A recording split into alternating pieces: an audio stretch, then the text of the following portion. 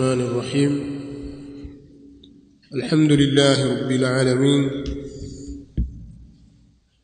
والصلاة والسلام على أشرف الأنبياء والمرسلين. نبينا محمد وعلى آله وصحابته أجمعين. والتابعين لهم بإحسان إلى يوم الدين. وسلم تسليما كثيرا. أما بعد. يقول الإمام الحافظ أبو محمد عبد الغني بن ابن عبد الواحد بن علي ابن سرور المقدسي الجماعلي رحمه الله تعالى.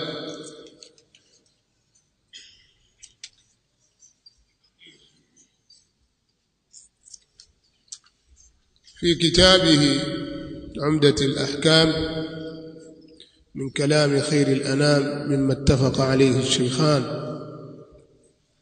وما زلنا في كتاب الصلاة باب الجنائز. huu ni mlango wa janaiz yani na mlango unahusiana na janaiz.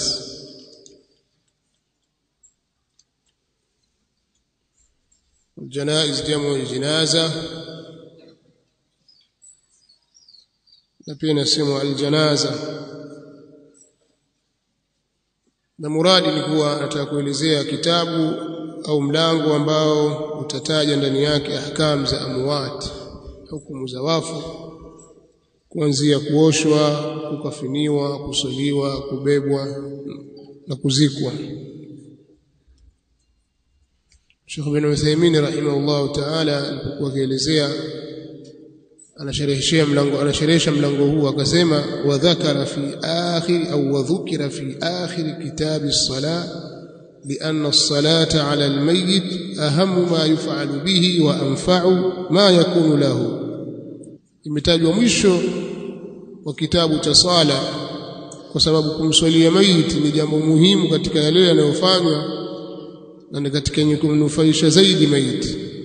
Kisha akataja hadithi ibn Abbas radhiyallahu ta'ala anhuma wamemsikia mtume sallallahu alaihi wasallam akisema ma min rajulin muslimin yamut fayaqumu ala janazatihi 40 rajula la yushrikuna billahi شيئا illa شفعهم الله fihi alhadith عند muslim anasema hakuna mtu yoyote muislamu atakayekufa kisha wakasimama kuswalia jeneza lake watu 40 ambao hawamshirikishi Allah tabaraka wa taala na kitu chochote isipokuwa atawakubalia wao maombi yao kwa mtu huyo kisha akaanza kutaja hapa anasema alhadithu alawwal an abi hurairah radhiyallahu ta'ala anhu qala imepokewa kutoka kwa abu hurairah radhiyallahu anhu amesema na an-nabiy sallallahu alayhi wasallam an-najashiyya alitangaza mtume sallallahu alaihi wasallam habari ya kifo cha an-najashi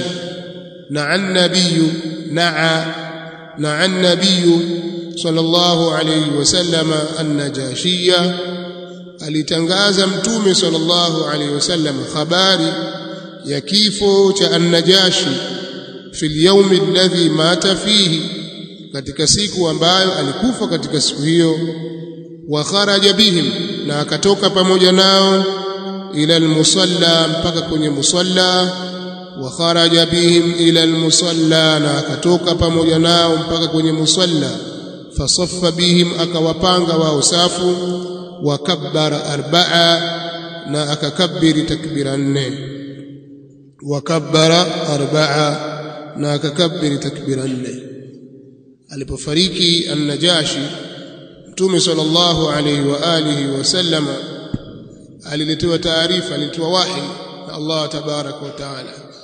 Kwa sababu masafa ni marefu baina ya Madina na al-Habasha Ethiopia hakukuwa na simu, hakukuwa na njia zozote za mawasiliano ya haraka kama ilivyokuwa sasa. Kwa hiyo taarifa ikamjia siku ile ile, akaletewa wahi na Allah tabaraka wa taala kwamba an-Najashiyu al-maliku al-adl ar-rajul salih mat, kwamba Najashi ambaye ni mfalme mwadilifu, mtu mwema amefariki mtume sallallahu alaihi wasallam akawafahamisha waislamu akhbara an-nasa bimauti akawaelezea watu kuhusu kifo chake. Ndio akatoka nao mpaka katika musalla wa janaza wakaswali pale swala ya ghaib. Na wanaeleza wanawachuoni kwamba neno an-najashi sio jina alam shakhs kwamba alamu shakhsiyun kwamba ni jina la mtu fulani bali ni alamu jins. Yani ni jina la kila mtawala anayemiliki anayetawala Habasha. Kama vile Firaun kuwa ni mtawala anayetawala Misri kwa wakati huo. Ikiambiwa Kisra ni mtawala anayetawala Waajemi Kaisar ni mtawala anayetawala Warumi kwa hiyo ni jina kila mtawala anayekuja pale anapewa jina hilo kwamba huyu ni Najashi. Kama hivi ilivyokuwa sasa hivi huyu ni rais huyu waziri mkuu au huyu ni mfalme. Kama inavyotumika sasa hivi katika ulimwengu kuna wafalme kuna maraisi kuna mawaziri wakuu na mfano wa hivyo. Naye alikuwa ni mfalme wa, Waethiopia au Habasha na jina lake likiitwa Ashima neno hili kwa Kiarabu maana yake ni atiya. Atiya. Kwa alikuwa ni mfalme wa Ethiopia na wao walikuwa asili yao ni manasara. Lakini ilipomfikia risala ya mtume sallallahu alaihi wasallam alimwamini mtume sallallahu alaihi wasallam akamfuata mtume sallallahu alaihi wasallam. Na istoshe wakati washirikina wa Makka wanaendeleza ubabe wao dhidi ya waislamu wanyonge na kila ambaye hakubaliani na wao amemwamini mtume Muhammad sallallahu alaihi wasallam. Wakati wakifanya hivyo walilazimika waislamu waliamrishwa na mtume sallallahu alaihi wasallam waondoke katika mji wa makka. Ndio wakahamia katika mji wa Madina mji wa Habasha kabla ya kwenda Madina walikwenda mara ya kwanza na yeye an-Najashi akawapokea. Wakakaa pale kwa muda. Mara ya pili walirudi maka walirudi maka kwa taarifa kutokana na baadhi ya taarifa zilizowafikia lakini pia wakalazimika kufanya hijra tena. Akawapokea mpaka mtume sallallahu alaihi wasallam wakati yuko Madina mwaka wa tisa hijiria. Wakati mtume sallallahu alaihi wasallam akashahamia Madina kishatoka Makka mwaka wa tisa hijiria mwezi wa Rajab ndipo zilipokuja taarifa ya kwamba an-Najashi rahimahullahu ta'ala amefariki. Mtume sallallahu alaihi wasallam akawaambia masahaba zake qad qad tuwfiya al-yawma rajulun salihun amekufa hivi leo mtu mwema min al-habash katika watu wa habash faqumu sallu ala akhikum ashim basi simameni mumswalie ndugu yenu ashim katika riwaya nyingine istaghfiru li akhikum muombeeni msamaha ndugu yenu katika riwaya muslim mata al-yawma Abdullah Salih Ashim amekufa leo mja wa Allah mwema toi Ashim kwa mtume sallallahu alaihi wasallam alitangaza habari zake. Kwa hiyo akatoka na masahaba wakenda wakamswalia katika sehemu ya katika musalla sehemu ya kusalia mayit.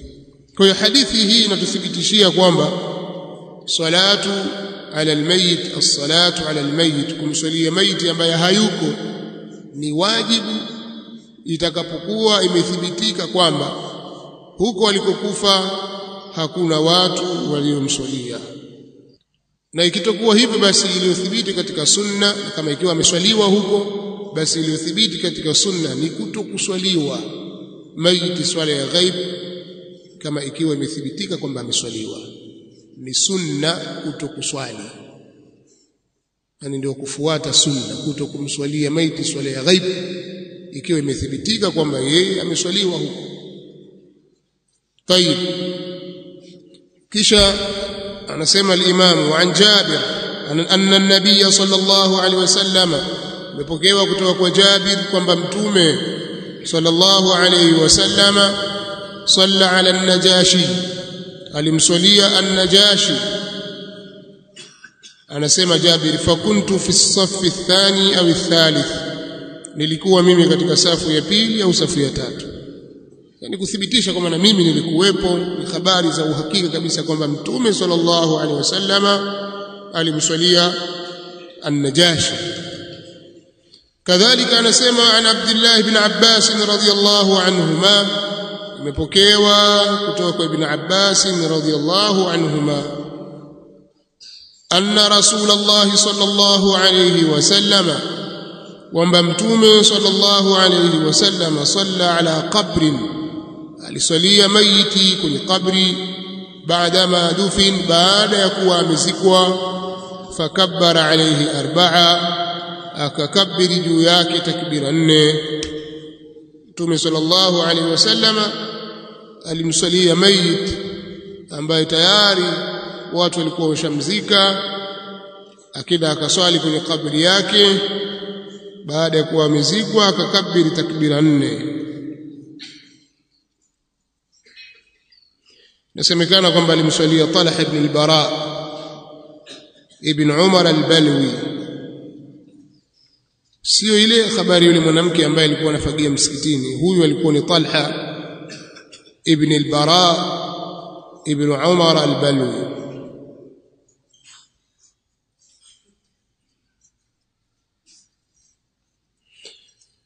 Talha ibn al-Bara alikuwa mgonjwa na Mtume sallallahu alaihi wasallam alikuwa akienda kumtembelea kumwamkia akafariki katika usiku ule. Mtume alipokwenda usiku wake Talha akafariki. Waka hawakutaka kumweka. Wakaamua kumzika usiku ule ule. Lakini hawakumwambia mtume sallallahu alaihi wasallama kwa kuogopea kwamba atapata uzito kwa sababu ya giza asubuhi wakampa habari ya rasulullah jana usiku alifariki Talha ibn al-Bara tukamzika. Ndio maana akamwambia ma manaakum an tu'limuni? Kitu gani kimewazuia nyinyi kunijuza mimi kunipa habari? Qalu kana al-layl wa kana dhulma wakamwambia ulikuwa ni usiku na lilikuwa giza fakarihna an nashqa alayk tukachukia sisi kukupa uzito wewe. Fadhahaba an-nabiy sallallahu alayhi wasallam ila qabrihi faqama alayhi. Akaenda mtume sallallahu alayhi wasallam kwenye kabri yake akasimama juu yake wasafu waraahu na wakapanga safu nyuma yake. Kwa hiyo unakujuzu kuswalia maiti baada ya kuzikwa?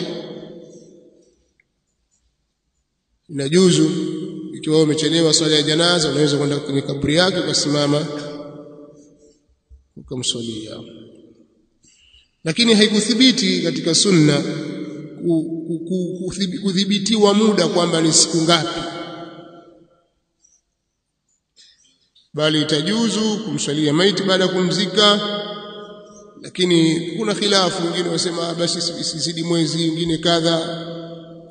Lakini kwa kauli iliyo karibu zaidi ambayo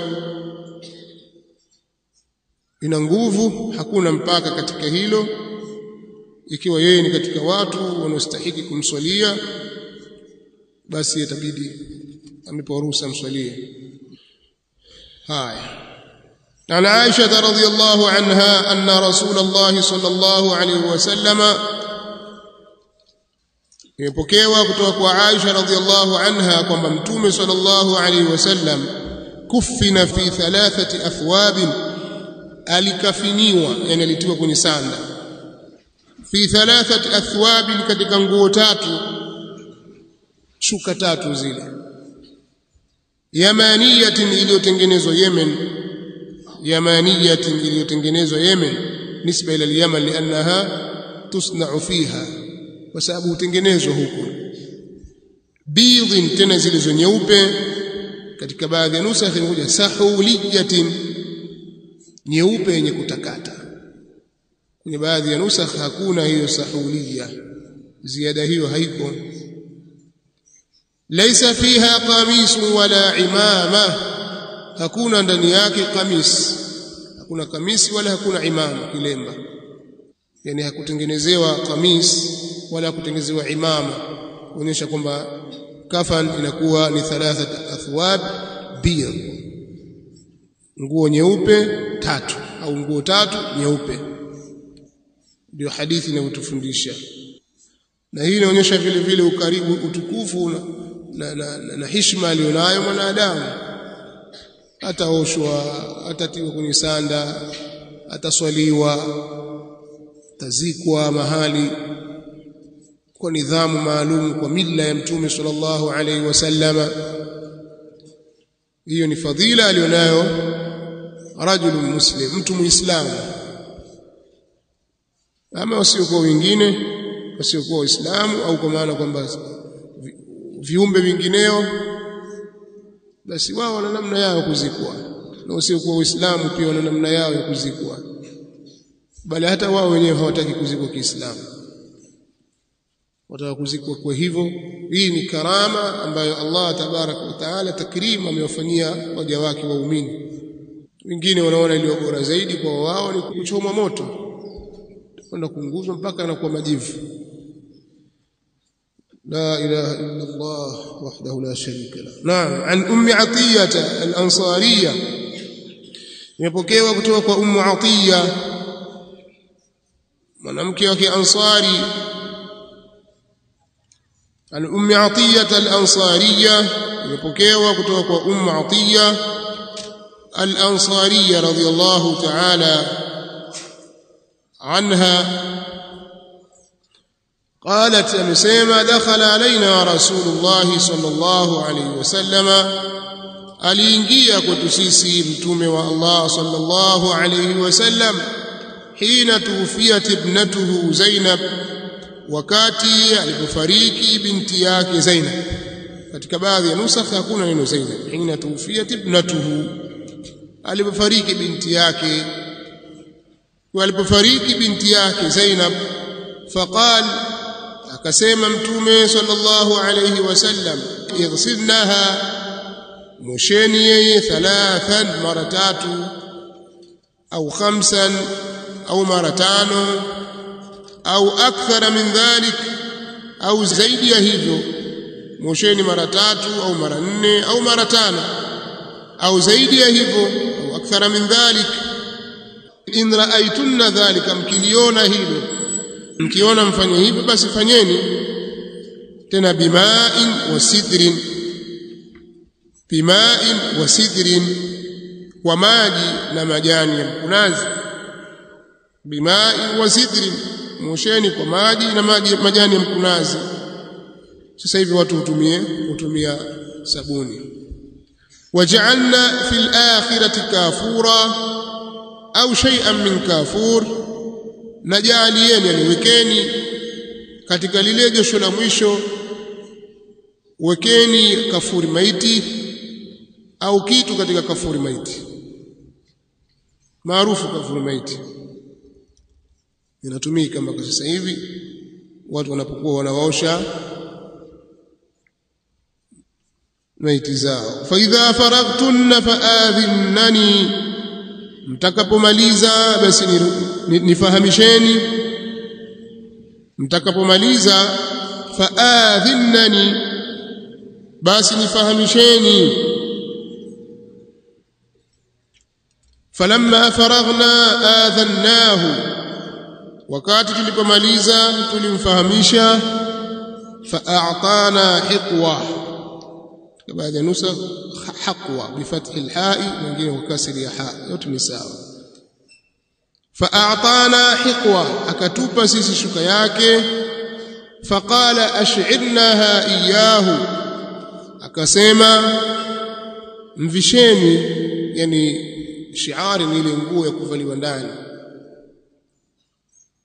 Nguo zile za ndani kabla hujavaa nguo za juu ile nguo ya ndani inaitwa shiari sasa huyu kabla mjamtia kwenye sanda hii shuka yangu ifanyeni ndio nguo ya ndani. Ashirnaha iyahu basi mvisheni nguo ya ndani kwa nguo hiyo yani. Tani izarahu anaikusudia ile shuka yake kikoi chake mtume sallallahu alaihi wasallam. Mtume sallallahu alaihi wasallam alitoa kikoi chake. Wa fi riwaya na katika riwaya nyingine au sab'an au mara saba waqala bida'na bimayaminiha na akasema anzeni upande wake wa kulia upande wake pande zake za kuume. Yani mnapomuosha basi anzeni upande wa kulia afu nafuata upande wa kushoto. Wa mawadhi'i alwudu'i minha na sehemu za udhu yani muoshe uso mikono miwili mpaka katika marafiq. Kadhalika kichwa miguu miwili mpaka katika kaabain umfanye namna hiyo. Wa anna umma atiya qalat na kwamba ummu atiya alisema waj'alna ra'saha thalathata qurunin na tukazifanya nywele zake katika matuta matatu. Thalathata qurun tuka matuta la kwanza na pili na tatu ikafungwa. Kwa maana zikasukwa vile vizuri sababu qarni quruni ni jamu ya qarni huwa ash-sha'ru al-maftul. Nywele zenye kusukwa. Kwa hiyo hadithi hii inaonyesha uwajibu wa kumuosha mayit. Na sifa ya kumuosha utaanza kumuosha viungo vya udhu kwa kutanguliza upande wa kulia yani mkono katika mikono miwili utaanza mkono wa kulia kisha mkono wa kushoto. Kwenye miguu hivyo hivyo kisha kitaoshwa kiliwili chake chote lakini utaanza upande wa kulia ubavu wa kulia ule. Kwa mbele yake kwa nyuma yake. Hivyo hivyo kisha ndio upande wa kushoto. Kisha maji yale ya kumwoshea yatachanganywa na mkunazi majani ya mkunazi. Na mwisho kabisa itachanganywa na kafuri maiti. Na patakaririwa kuoshwa kwa ni mara tatu mara tano mara saba.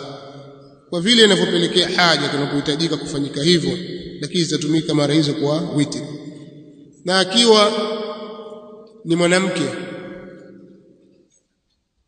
nywele zake zitafumuliwa zitaoshwa kisha zitasukwa matuta matatu. Pembeni katikati pembe nyingine kushoto. Kisha zitatukwa kwa nyuma yake kama zikiwa nywele ndefu na pia vile vile hadithi inaonyesha kwamba wanawake hawaoshwi isipokuwa na wanawake wenzao. Ila imefanywa istithna kwa zauji ikiwa mume akitaka kumwosha mke wake ni jais. Kadhalika hadithi inatuonyesha kwamba inathibitisha baraka za mtume sallallahu alaihi wasallam na vile vinavyoambatana na yeye lakini wa ghairuhu la yuqasu alayhi. Asiyekuwa yeye mwingine yoyote hafanyiwi kiasi juu yake. Mtume sala wasallam yeye ni mubaraka aina ma kan. Mwili wake wa baraka maneno yake ni baraka. Nywele zake baraka mate yake jasho lake kila kitu chake ni baraka. Nguo zake. Wale waliodiriki athari zake mtume sallallahu alaihi wasallam alipata khairu khairun adhim khairun adhim walipata na hii ndio fadhila ya kutangulia wadhālika fadlullah yutihi man yasha kwa hiyo akatoa kikoi chake akasema hiki mvisheni ndani alafu nguo nyingine zitafuatia juu kwa hiyo haya ni katika mambo yanayomhusu mtume sallallahu alaihi wasallam haya عن عبد الله بن عباس رضي الله عنهما قال imepokewa kutoka kwa Abdullah ibn Abbas radhiyallahu anhu amesema bainama rajulun waqifun bi'arafa wakati alipokuwa mtu mmoja ni mwenye kusimama Arafa idh waqa an rahilatihi ghafla alianguka kutoka juu ya ngamia wake. Rahila ni kipando lakini hapa mradi muradi wake ni ba'ir rahila ni na kipando. Lakini hapa ilitukusudiwa ilikuwa ni ngamia. Bwana yuko juu ya ngamia wake amesimama katika uwanja wa Arafa. Basi katokea ajali akaanguka kutoka kutoka kwenye kutoka juu. Fawaqasathu akamvunja shingo. Fawaqasathu akamvunja shingo shingo yake. Au qala fa au alisema awqasathu zote maneno yote haya maana yake ni moja. Waqasatuhu au awqasatuhu maana yake akamvunja shingo. Ngamia akamvunja shingo ile mtu. Maana alimkanyaga. Bwana alipoanguka ngamia akamkanyaga kwenye shingo yake akavunjika shingo akafa. Faqala rasulullah sallallahu alayhi wasallam akasema mtume sallallahu alayhi wasallam bima'in wa sidrin muosheni yeye kwa maji na majani ya mkunazi. Ighsiluhu muosheni yeye. Bima'in wa sidrin kwa maji na majani ya mkunazi. Wakafinuhu fi thawbain na mkafinini mtieni katika sanda katika nguo mbili. Wakafinuhu fi thawbain na mkafinini yeye katika baadhi ya nusakh. Wakafinuhu fi thawbaihi na, mti, na mkafinini mtieni kwenye sanda kwenye nguo zake mbili zile nguo zake za ihram. Ile shuka ya chini na shuka yake ya juu. Basi zitumieni zile zile kutengeneza kafani yake sanda yake. Kisha akasema wala tuhannituhu wala tuhannituhu wala msi, msimtie manukato. Yani la taj'alu fihi hanuta msitie katika hayo sanda kwake msitie manukato. Kwa sababu hanut ni mchanganyiko wa manukato mbalimbali ambayo yanaandaliwa maalum kwa ajili ya, ma, ya, ya, ya maiti. Natiwa katika inanyunyizwa katika katika sanda. Ile sanda ile kuna vitu vinanyunyiziwa pale juu ile yale ni manukato ya aina tofauti tofauti kwa ajili ya kuleta harufu nzuri kwa hiyo msimtie msimtilie manukato. Wala tuhannituhu wala msimtie manukato. Wala tuhammiru ra'sahu wala msikifunike kichwa chake. Wala tuhammiru ra'sahu wala msikifunike kichwa chake. Fa innahu hakika yeye yub'athu yawma alqiyamati atafufuliwa siku ya kiyama mulabbiya hali yakuwa ni mwenye kuleta talbia tasema labbaik allahumma labbaik kwa sababu الناس yub'athuna ala ma matu alayhi watu watafufuliwa siku ya kiyama kwa yale waliofia lile jambo lilofia wewe ndilo ambalo utafufuliwa nalo na watu wake umekufa katika jambo la kheri basi utafufuliwa na watu wa kheri kwa umekufa kwenye hija basi siku ya kiyama kundi lako litakuwa ni kundi la watu waliokufa kwenye hija Na utakuja na talbia siku ya kiyama labbaik allahumma labbaik umekufa katika kuipigania dini ya Allah tabaraka wa taala umewawa huko katika jihadi fi sabilillah utakuja siku ya kiyama na hali ya kuwa unachirizika damu اللون لون الدم والريح ريح المسك rangi ni rangi ya damu lakini harufu ni harufu ya miski lakini kuna watu watakuja chini ya bendera ya Firaun na Qarun na Haman. Na miongoni mwa watakaokuwa katika kundi hilo ni wenye kuacha swala pia watakuwemo. Utaongoza yakhdumu qaumahu yawma alqiyamati fa awradahum an-nar. Bisa alwirdu almawrud. Kwa hiyo Firaun atakuwa anaongoza watu wake na watu wengi kwa katika kundi lake miongoni mwa watu watakao kuwemo ni wenye kuacha swala na bendera yao. Kadhalika watu waliokufa na khiana wamefanya khiana katika ulimwengu na ghulul watakuwa na bendera zao watakuja nazo siku ya kiyama.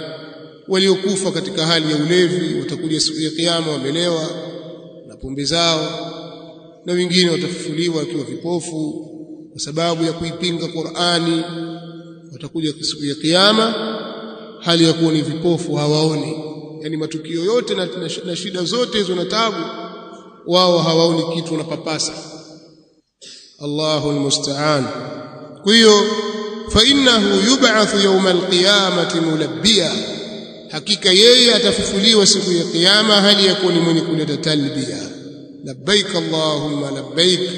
Labbaik la sharika laka labbaik innal alhamda wan ni'mata laka wal mulk la sharika lak. Leta talbiya hizo hii ni khairun adhim wa fi riwaya na katika riwaya nyingine wala tukhamiru wajhahu wala ra'sa. Na wala msifunike uso wake wala kichwa chake. Kwa sababu huyo alikuwa amehirimia. Na mtu akiwa katika ihramu akiwa kwenye ibada ya hija akishaingia katika ibada haruhusiwi kujitia manukato haruhusiwi mwanamme haruhusiwi kufunika kichwa. Kwa hiyo msimtie manukato huyo wala msifunike kichwa chake. Hizo nguo zake hizo hizo alizozivaa za ihram mashuka yake mawili hayo hayo ndiyo sanda yake. Mumzike kichwa chake kikiwa wazi wala msimtie manukato. La tuhannituhu mfahamika hadithi hiyo eh? Kwa hiyo maiti atakapokuwa ni mwenye kuhirimia atafanyiwa hayo aliyofanyiwa huyu bwana. Kama vile amefanyiwa maiti wengine isipokuwa hatatiwa hata sanda yake na yeye mwenyewe hawatatiwa manukato na sanda yake na kadhalika hatafunikwa kichwa chake. Na kadhalika ni wajibu kumuosha maiti na kumtia kwenye sanda. Na kama ni mwanamke basi mwanamke atafunikwa kichwa chake lakini hautafunikwa uso wake. Uso wake utabaki wazi. Sanda ya mwanamke aliyekufa hali ya kuwa iko kwenye ibada ya hija au ibada ya umra basi uso wake utawachwa wazi. Na riwaya wala tukhamiru ra'sahu wala wajha lafdhi hili ametafarrad nalo al-Imam Muslim rahimahullahu ta'ala. Wa an ummi atiyah al-ansariyya na imepokewa kutoka kwa ummu atiya mwanamke wa kiansari huyo radhiyallahu ta'ala anha hapo mwisho anasema qala al-musannif al-waqsu kasru al-unq waqs maana yake ni kuvunjwa shingo wa ummi atiyah al-ansariyya imepokewa kutoka kwa ummu atiyah al-ansariyya radhiyallahu ta'ala anha qalat amesema nuhina an ittiba'i aljanais tumekatazwa kufuata majeneza. Walam yu'zam alaina na halikutiliwa mkazo au hakutiliwa mkazo makatazo hayo juu yetu. Walam yu'zam alaina na hayakutuliwa mkazo makatazo hayo juu yetu tumekatazwa lakini kusemwa sana lakini makatazo yapo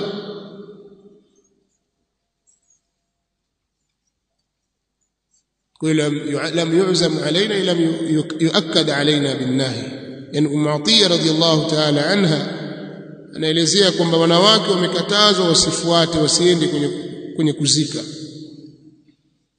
wao watabaki nyumbani mazishini kwenye kuzika watakwenda wanaume. Pamoja na kwamba hapakuzungumzwa kwa msisitizo sana. Kwa hadithi inaonyesha kukatazwa wanawake kufuata majeneza. Ni mamoja mahali pa kuswali au mahali pa kuzika. Makosa wanawake kwenda kwenye kufuata maiti. Lakini ikibidi kuswalia na wao wanaruhusiwa kuswalia maiti. Haya. Lakini leo kwa sababu huko kwa Uislamu wamekatazwa lakini kwa Wakristo waenda. Huyu si mwenzetu alikuwa jirani alikuwa mwenzetu katika kadha waenda hao kwenye mazishi mtihani mkubwa sana عن ابي هريره رضي الله عنه عن النبي صلى الله عليه وسلم قال مpokewa kutoka kwa Abu Huraira radhiyallahu anhu kutoka kwa mtume sallallahu alayhi wasallam amesema asri'u bil jinaza